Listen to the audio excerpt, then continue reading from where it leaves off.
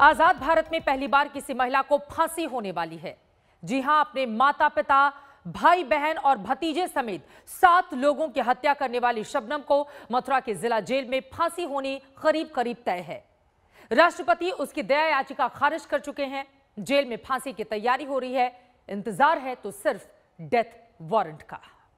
मासूम के हाथों में एक तख्ती है और इस तख्ती पर लिखी है एक गुहार। गुहार है भारत के राष्ट्रपति से। इस तख्ती पर लिखा है राष्ट्रपति अंकल प्लीज़ मेरी माँ को माफ़ कर दीजिए। प्रेसिडेंट अंकल जी से ये अपील की है कि वो मेरी माँ को फांसी ना दें क्योंकि मैं उनसे बहुत प्यार करता हूँ इसलिए। तो क्या आपको लग रहा है कि प्रेसिडेंट सर आपकी अपील पर अपनी मोहर लगाएँगे?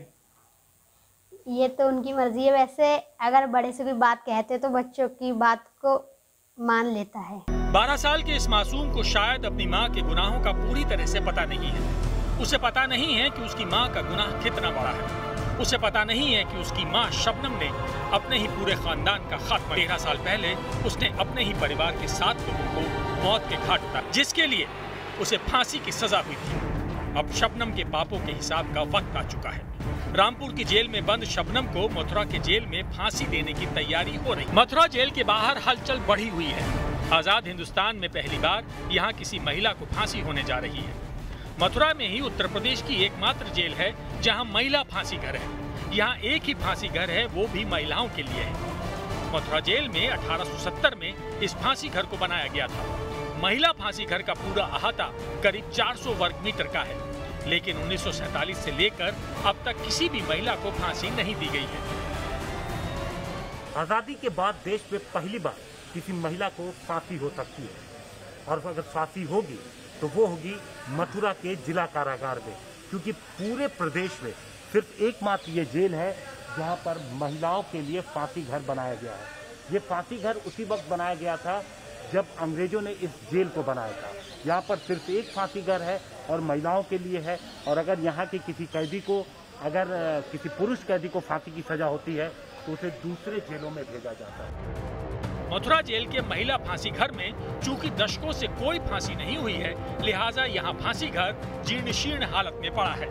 हमारे हाथ मथुरा जेल के फांसी घर की एक्सक्लूसिव तस्वीरें लगी है, जिसमें आप उसकी हालत का अंदाज़ा लगा सकते हैं।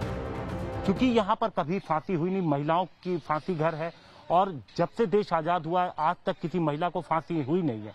इसलिए जो महिला का फांसी घर है उसकी जो हालात हैं वो तख्ता फ़िलहाल जो है वो गल चुका है लीवर मौजूद नहीं है। मेरठ से पवन जल्लाद यहाँ पर पहुँचा था और उसने ये सारी चीज़ें देख करके प्रशासन से बात की। जेल प्रशासन अब इन कमियों को दूर कर रहा है। कितना बड़ा एरिया है जो फांसी घर का एरिया है और जेल के किस तरफ़ है वो? अगर आप इधर से बता दो हाँ। बाहर की मेन बाल जो है ये सन 2000 में मतलब जो बनी है। और इससे पहले भी एक जो मेन बाल थी उसके अगर मतलब सन 2000 से पहले की आप स्थिति पे जाएँ तो उस समय जेल के कैंपस के बाहर का मतलब आता था। आता था। हाँ क्योंकि ब्रिटिश टाइम में जो है कभी भी जेल का जो फांसी घर का आता होता था तो वो जेल के बाहर ही पृथक होता था। अंदर जहाँ पे है वहाँ पे आप गए हैं कभी? हाँ गए। बिजली बिजली है वहाँ? हाँ बिजली बल्ब वगैरह लग, लगे हुए हैं बाहर की तरफ़ मेन बाल पे लाइट लगाने जाते हैं।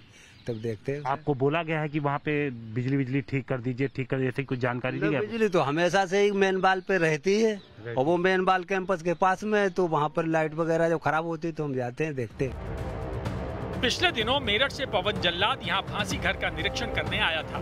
इसमें क्या कमियाँ हैं इसकी जानकारी भी वो जेल प्रशासन को दे चुका है। मैं गया था उधर देखने के लिए भी मैं सर थोड़ा बहुत खराबी शराबी थी। मैं सर को मैं सुपरिटेंडेंट को बोला कि इसको ओके करा दीजिए जैसे ओके करा देंगे। और मैं चेक कर लूँगा आके बाद में वहाँ आपने क्या देखा था? वो तख्ते वक्ते में सही थे थोड़े से थोड़े से जो तख्ते जर्जर थे थोड़े से सारे मैंने इनको सही करते ना बाकी सब ओके। मथुरा जेल में शबनम की फांसी की तैयारियों को लेकर जेल प्रशासन अपनी तैयारी कर रहा है क्योंकि जिसे फांसी होती है उसके लिए भी जेल के कुछ नियम कायदे हैं। जिसे फांसी देनी होती है, उसे पहले बाकी दूसरे कैदियों से अलग तन्हाई में रखना होता है। अगर शबनम को फांसी दी जानी होगी तो उसे पहले रामपुर से मथुरा जेल में शिफ्ट किया जाएगा। इसके बाद उसे पूरी सुरक्षा में तन्हाई में रखा जाएगा। तन्हाई से फांसी घर की दूरी करीब 200 मीटर के आसपास है।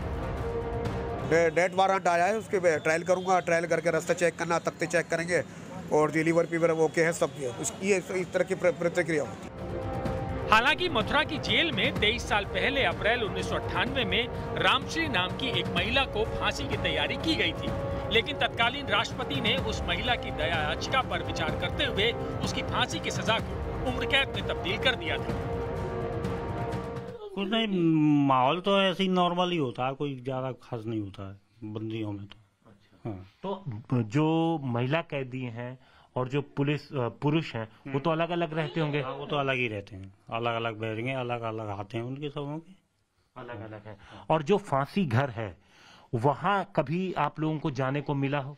हाँ कभी कभी चक्कर लगा देते। चक्कर लगा हाँ। देते। थे किस तरीके का दिखता है? क्या है वहाँ? सही है नॉर्मल ही है कोई ऐसा कोई विशेष वो नहीं है। हाँ। जहाँ पे बैरक है वहाँ से कितनी दूर होगा? जो महिलाओं का बैरक है। बैरिंग से तो काफ़ी दूर है। हालाँकि शबनम की फांसी की तारीख अभी तय नहीं है। अभी डेथ वारंट भी जारी नहीं किया गया है। अभी तो बस ये हुआ है कि राष्ट्रपति भवन से शबनम की दया याचिका खारिज हुई है। यानी फांसी का फरमान कभी भी आ सकता है। लिहाजा मथुरा जेल प्रशासन तैयारियों में जुटा हुआ है। शबनम की फांसी को लेकर अभी तक संशय बना हुआ है। लेकिन एकमात्र महिला फांसी घर वाला जेल, मथुरा जेल, अभी से तैयारियों में जुट गया है। यहाँ पर सरगर्मियाँ तेज हो गई हैं। ज़ाहिर तौर पर, किसी भी सरकारी आदेश के पहले जेल अपनी तैयारियाँ पूरी कर लेना चाहता है। अभिषेक मिश्रा और प्रदीप गुप्ता के साथ हिमांशु मिश्रा, मथुरा, आज तक। वैसे कुछ गुनाह ऐसे होते हैं जिनकी कोई माफ़ी हो ही नहीं सकती। शबनम का गुनाह भी कुछ ऐसा था। एक बेमेल इश्क के जुनून में उसने अपने पूरे परिवार का सफाया कर दिया। जिन्होंने उसे जन्म दिया उस माता पिता को कुल्हाड़ी से काटा। 11 साल के मासूम भतीजे का गला दबाते वक्त भी उसके हाथ नहीं कांपे। शबनम के जुर्म की पूरी दास्तान सुनेंगे तो आप भी थर्रा जाएँगे। जल्लाद कह रहा है कि शबनम का अपराध माफ़ी लायक नहीं है। इसे फांसी मिलनी ही चाहिए। अपने बहन भाइयों को जो है भाई जो कुल्हाड़ी से मारा उन्हें जहर देकर और साथ में सलीम भी था इनको तो फांसी होनी चाहिए। शबनम के चाचा और चाची भी कह रहे हैं कि उनकी भतीजी ने गुनाह अजीम किया है। उसे फांसी की सजा तो होनी ही चाहिए। तुरंत ही मार देते तो सही रहते वैसे हो। पर सरकार ने इतने दिनों पाल दी है आराम से। पूछताछ करने के लिए हर तरह से। अच्छा जी जीना इसका कोई अच्छा ना चाहता। गाँव वाले रिश्तेदार कोई ना चाहता। रिश्तेदार पूरा क्षेत्र। पूरा क्षेत्र यही चाह रहा है कि ये तो तुरंत ही मार देनी चाहिए थी पर सरकार के ऑर्डर में हाँ सरकार शबनम के गाँव वालों ने भी उसकी दया याचिका राष्ट्रपति भवन से खारिज होने के बाद राहत की सांस ली है। कहते हैं कि वो बेरहम माफ़ी की हकदार नहीं है। ये करा वैसे उसको सजाएँ मिलनी चाहिए। फांसी से कम तो कम सजा नहीं होनी चाहिए जिसने भी ये करा है। अगर शबनम ने करा तो उसकी हकदार है। बचनी नहीं चाहिए। जो इतना बड़ा कांड कि पूरे घर में किसी को ना भाई को, भावज को, माँ को या बाप को किसी को नहीं छोड़ा है, भतीजे किसी को नहीं छोड़ा उसने तो उसे हकदार है कि फांसी लगनी चाहिए। आखिर क्या किया था शबनम ने? आखिर क्या था उसका गुनाह, जिसके तेरह साल बीत जाने के बाद भी हर कोई उसे फांसी के तख्ते पर झूलते हुए देखना चाहता है? इन सवालों के जवाब के लिए आपको चलना होगा तेरह साल पीछे। तारीख 14 अप्रैल 2008 जगह, अमरोहा का बावन खेड़ी उस रात बावन खेड़ी के अध्यापक शौकत अली का परिवार खाना खाकर सोया हुआ था। इस बात से बेखबर कि इस रात में जो उन्होंने आँखें मूंदी हैं, वो आँखें अब कभी नहीं खुलेंगी। ये रात उनकी ज़िंदगी की आखिरी रात साबित होगी। क्योंकि जो खाना खाकर पूरा परिवार सोया था, उसमें उनकी इकलौती बेटी शबनम ने जहर मिला दिया था। खाने में जहर की वजह से पूरा परिवार बेहोश हो गया था। इसके बाद आधी रात शबनम ने अपने पति सलीम को बुलाया था। दोनों ने मिलकर परिवार के सात लोगों की कुल्हाड़ी से गला काटकर हत्या कर दी थी। इसमें शबनम के माता पिता दो भाई, भाभी और बुआ की लड़की शामिल थी। शबनम ने सलीम के साथ मिलकर अपने 11 महीने के भतीजे को भी मार डाला था। शबनम पर किस कदर हत्या का जुनून सवार था कि उसे अपने 11 महीने के भतीजे को गला दबाकर मारते वक्त भी कोई दया नहीं आई। उसने ये कहा कि जो मैंने किया है वो मेरी मजबूरी थी क्योंकि घर वाले शादी के लिए मना करते थे। मुझे इसका कोई अफसोस नहीं है कि मैंने ये हत्या की है।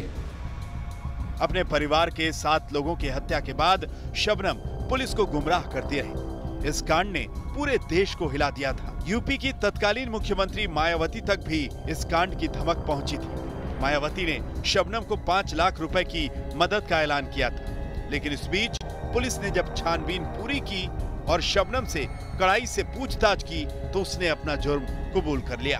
पूछताछ में उसने पूरा बता दिया कि इससे मेरा प्रेम चल रहा था, मैं शादी करना चाहता था। ये भी तैयार थी, लेकिन इसके घर वाले राज़ी नहीं थे।